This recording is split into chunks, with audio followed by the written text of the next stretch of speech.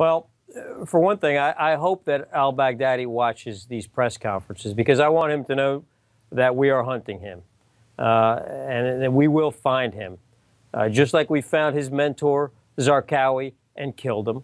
Just like we found the grand master of terrorism, Osama bin Laden, we killed him.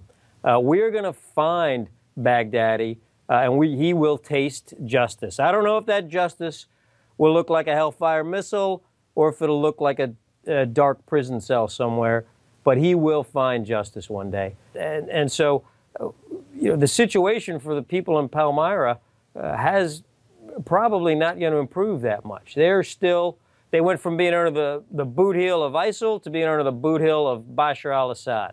And I'm not sure that that's much of an improvement for those poor people in Palmyra. We have not seen any significant combat power or significant pieces of equipment or significant capabilities uh, come in uh, for the Russians.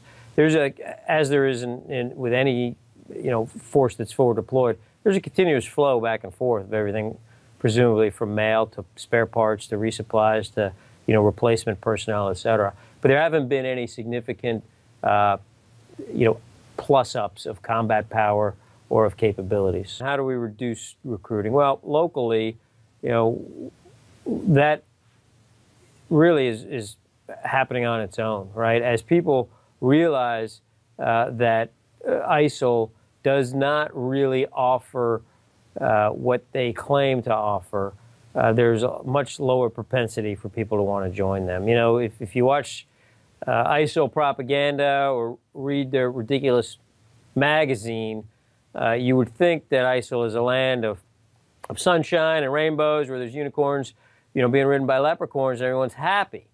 But then when you show up here, uh, you realize that it's closer to hell on earth, right? It's apocalyptic.